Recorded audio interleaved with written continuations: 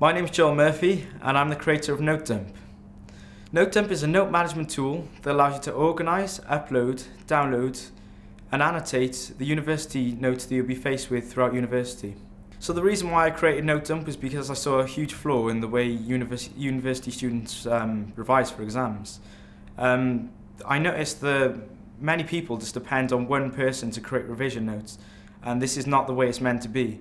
So I created a tool that would allow you to organize these notes so people could suggest you know how you could improve on these notes and what's good about them and literally you know learn more and actually prepare for exams more and so they can pass and actually do well because that's what university is all about.